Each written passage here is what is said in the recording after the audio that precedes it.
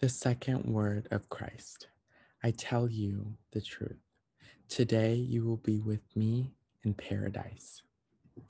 Let us begin by taking a moment to center ourselves. Let's start by closing our eyes and taking a deep breath. Let us remember that we are in the holy presence of God. name of the Father, and the Son, and the Holy Spirit. Amen. Merciful Savior, you heard the repentant plea of the criminal on your right hand and promised him paradise for his faith. As we are struggling in the midst of our wrongdoings, let us also hear the same word from your lips. May your undying mercy inspire us to be merciful now and always. Amen. name the Father and the Son and the Holy Spirit. Amen. The second word of Christ is I tell you the truth, today you will be with me in paradise. Malia, what does this mean? I think that this last word of Christ reveals two important things for us.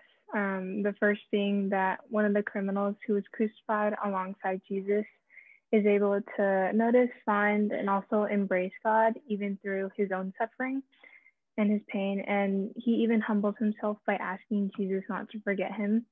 And the second thing being that we see how Jesus offers his compassionate heart, regardless of if the person has committed a major crime or not. And Jesus responds in a loving way as he welcomes the criminal into paradise with him. How do you specifically relate to the second word? I think about how the criminal saw God and how Jesus offered his compassionate heart.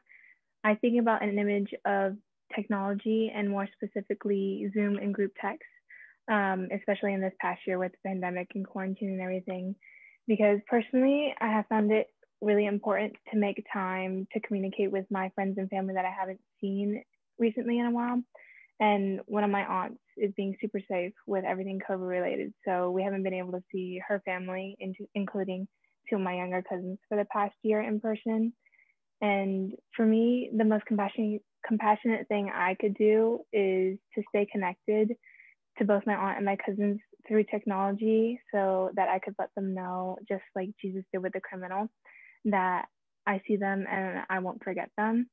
So I really feel God's presence in each of the stories and the videos and the pictures that we send in our big family group chat or also in the family Zooms that we have to celebrate birthdays and anniversaries and holidays and all the other events. Um, and the love and the joy that we're able to share while being only confined to connecting over Zoom and text really helps me to recognize the way that God is present through each of my family members.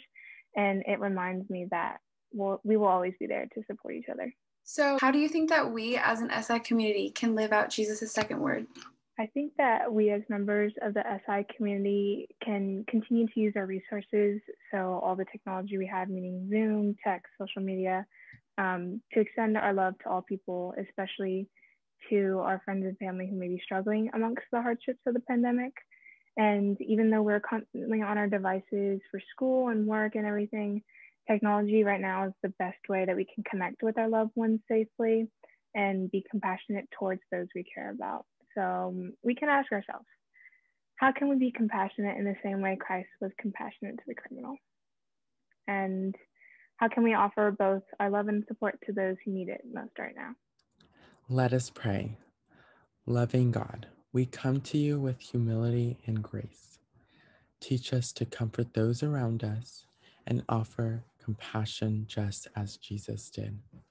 Help us to continue to extend our gift of generosity and love to everyone around us, whether they are close to us or far, so that we all may be still able to find God in times of suffering.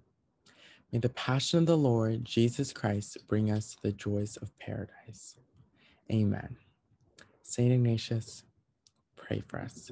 name of the Father, and the Son, and the Holy Spirit. Amen.